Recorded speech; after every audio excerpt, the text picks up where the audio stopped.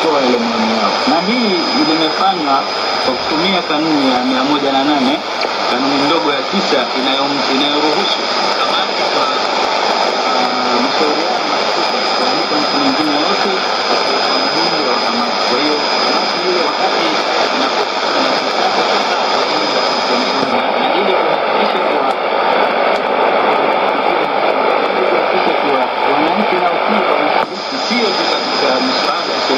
Lakini pia ni katika bajeti. Kwa hiyo kamati baada ya kushauriana na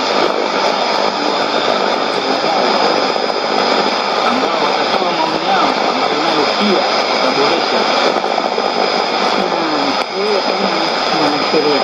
unaweza kushauri nini zaidi katika kuendeleza ushirikishwaji wa wananchi katika shughuli ili kuweza kuendeleza demokrasia? Mimi ushauri wangu mkubwa ni kwamba kwanza tuna tunawaomba sana wananchi wa- waendelee kufuatilia kwa ukaribu sana shughuli za baraza pale wanaposikia kuwa inaanza, waendelee kufuatilia kwa uka- kwa ukaribu.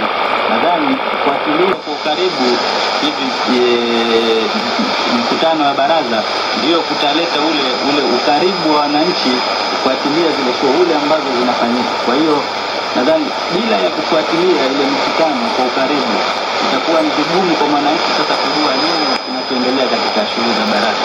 Lakini pia yanapotolewa matangazo, kwa mfano miswada, e, wananchi waitikie ule wito. Kwa hiyo yule anayehisi kwamba ana maoni asisite kupeleka maoni yake katika afisi ya baraza la wakilishi, lakini pia